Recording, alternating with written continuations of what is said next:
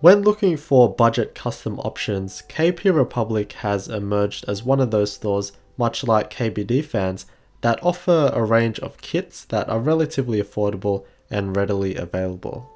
The main line of customs that KP Republic offer is the XD range. There's the 60%, 75% and the 96 key. Today we're going to build the XD84 which is the 75% option and on their store they do offer a couple of case options including a plastic case, bent steel cases and CNC'd aluminium. As always we start with a PCB and it's a bit of a busy one. Fortunately on the product page they do have a labeled picture. I'm not a PCB guy so I'm not quite sure what some of this stuff does. We have some sort of expansion interface. We have our 7 RGB SMD underglow LEDs and also the ability to add more. There's the Kimera core and the magnetic reset next to that which you need to reflash the board if you wish. These things here is something to do with some LEDs or something. And finally, this is powered by mini USB. Now to the case. It comes pre-assembled like this, so yes it does include the plate and that's not bad for 70 bucks. Usually you'd have to spend another 20 bucks or so for a plate. The person that I'm building this for wanted black, but this does come or will come in a few other colors.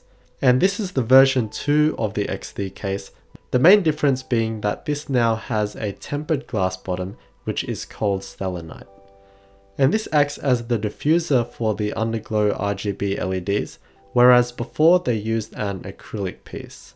The glass piece is secured by four Phillips head screws and it pops straight off, and it's double-sided taped to an aluminium piece that goes around the sides. The aluminium supporter piece is 1.5mm thick, while the glass is a nice 3mm thick.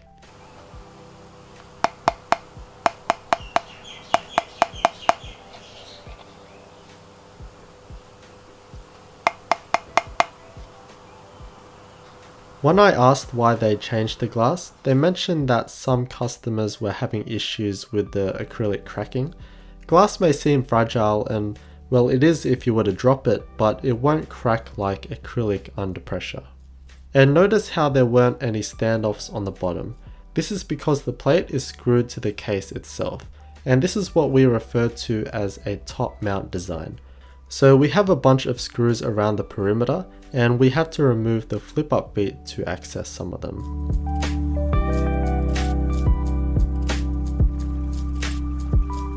The plate is made from 1.5mm thick aluminium so it's quite light and it has a nice smooth finish to it and we can see that it has some decent layout compatibility so you can pretty much do whatever besides split spacebars. We're just going to use some Gateron Reds for the key switches which is a light linear switch and is relatively smooth. When first putting them in it doesn't sound and feel very convincing at all even though it's all screwed in but that will change later.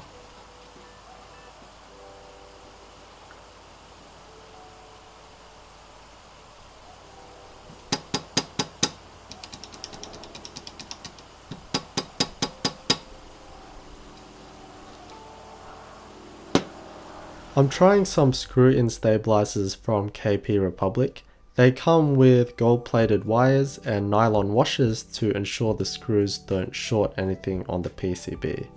They're still a bit rattly before lube and are not as good as the GMK screw-in stabs, but they're not bad.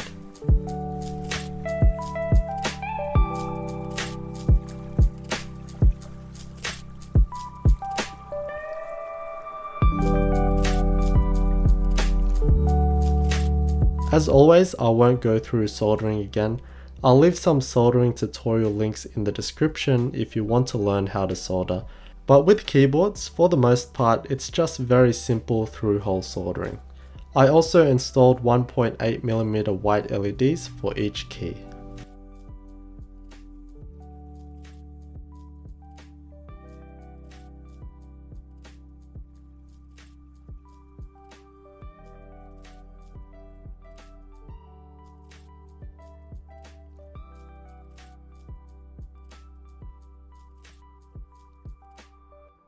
You can add some LEDs here if you wanted to light up the cat graphic a bit more, but I found that the underglow LEDs do that just fine.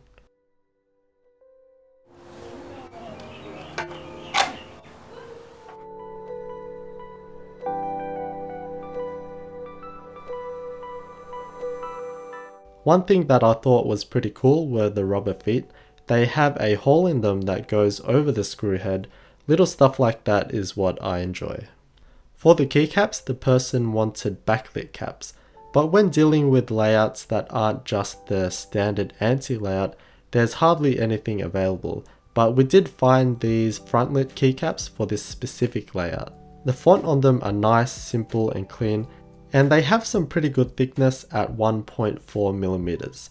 However, the downside of these are that they are ABS caps that are coated in black and are laser etched, so they won't be the most durable and they don't feel the best, but as always with keycaps, you can change them later. Here it is with SA Miami Nights and they definitely feel a lot better. Okay, so the first thing that I noticed is the underglow.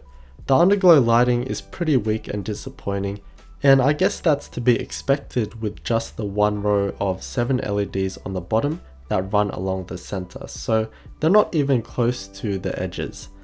At max brightness it's definitely visible and is quite tasteful with that subdued look, but you have to dim the lighting to actually see it.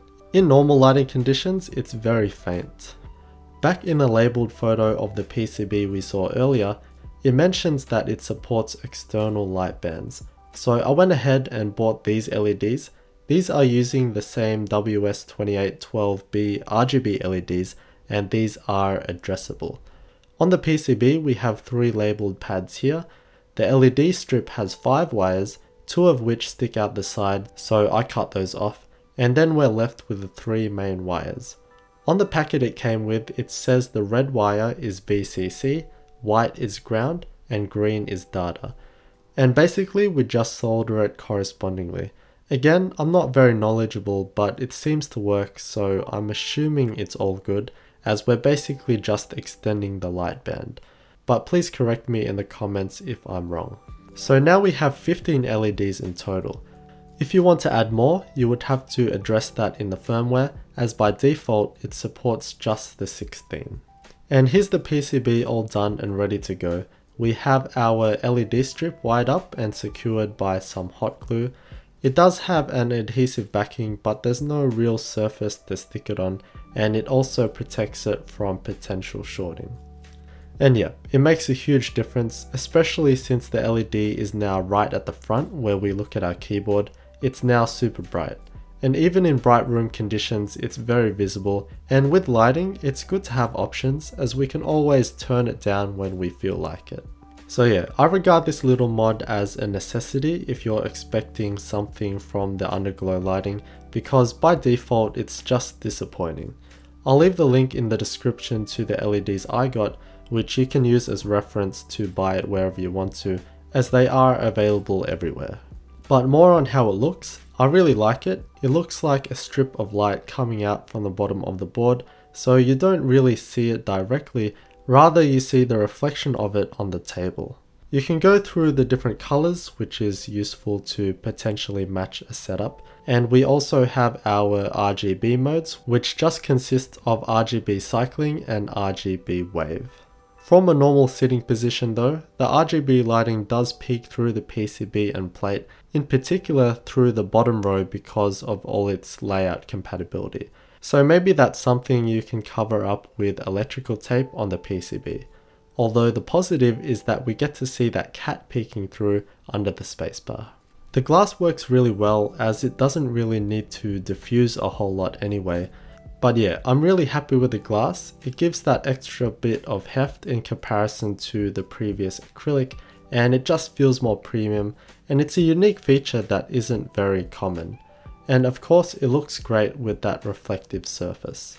So far it's held up absolutely fine. Again, it is tempered glass which is toughened glass and I'm fairly confident in its durability providing it isn't dropped, but I'm not willing to test that.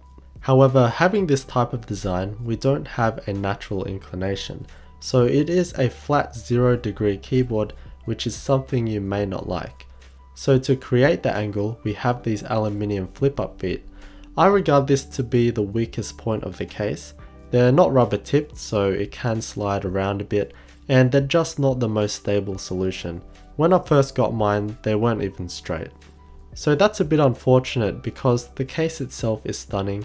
It's an extremely simple rectangular piece of aluminium with rounded corners and chamfered edges, we get some healthy bezels at about 10mm so it definitely holds a presence and I just love the flat sides as well. It just really accentuates its solidness.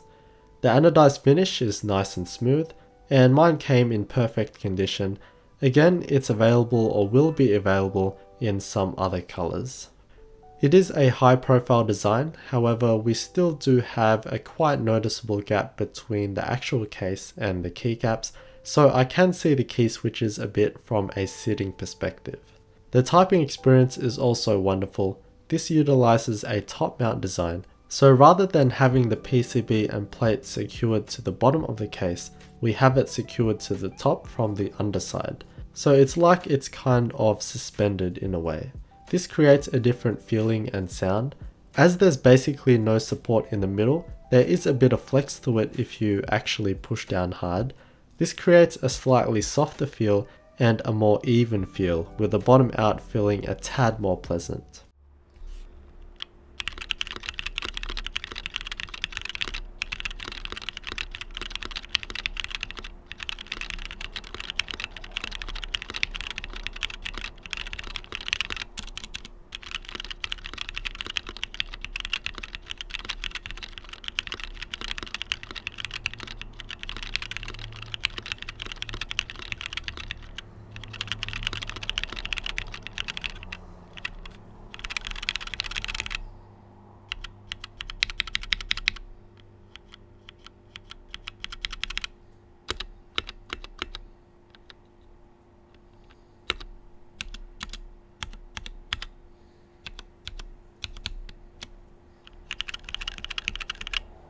I've seen some complaints for the XD96 how there's some flex in the corners as there aren't any screws there, but for this XD84 I didn't have any issues. I mean you can make the corners drop a little bit much like tray mount boards, but only if you put an unnatural amount of pressure much like the rest of the case. Overall, I found it to be a very good kit. The obvious alternative and competition for this would be the KBD75 from KBDfans. They're both good in their own ways. The KBD75 has that different case design with the integrated angle, angular aesthetic and side glow, whereas this one has the simpler straight flat design. And then the KBD75 is tray mount, whereas this is top mount. The KBD75 PCB is compatible with this case, and that natively supports QMK, which is easier to deal with. The case is stunning in my opinion, but it relies on the dodgy flip-up feet for angle. The glass diffuser is something quite unique that I haven't experienced before. Usually it's acrylic, but this adds another level of class. And finally, it's a 75% keyboard, it's a great layout if you want the 10 keyless primary functionality with the dedicated arrow keys and function row but in a more compact form factor. But yeah, for this price range, this is a great choice for a custom 75% keyboard.